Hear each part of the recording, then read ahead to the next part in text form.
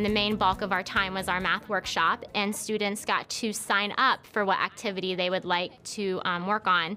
It's directly correlated to a learning target that we've been working on. And yesterday, they had filled out and evaluated their progress on their target tracker, so that really gave them a sense of where they are with the different learning targets that we've been working on and what they need to really focus on for today to be successful. I'm going to call a target. And if you're interested in practicing this target today, if it's something you need to focus on, you may go get your pencil and write your name, and then you may begin. Does that sound good?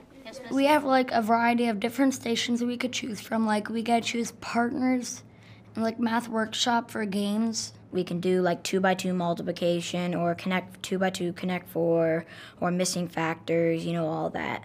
Like so we can practice stuff that we still need practice on, like we did today. And math workshops, some days I'll pull back small groups and check in based off of maybe an exit ticket or a quiz, or maybe, you know, I'll collect homework and flip through it and just pull out the kids that I'm like, oh, wow, like we really need to meet, you know, this is what I'm seeing. So then how did you figure these two out? Oh, the side is 50 because that is 50. Okay. The bottom was 4. Cool. And how much did you get here? 200. 200. Now this one's always the trickiest for Mrs. Susie. The little one's always the trickiest. What do you multiply for the smallest array? 1 times 4. 1 times 4.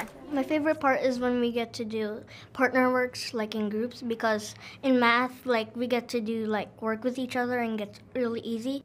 I want them to be aware of what they're learning and I want them to be able to make that right choice.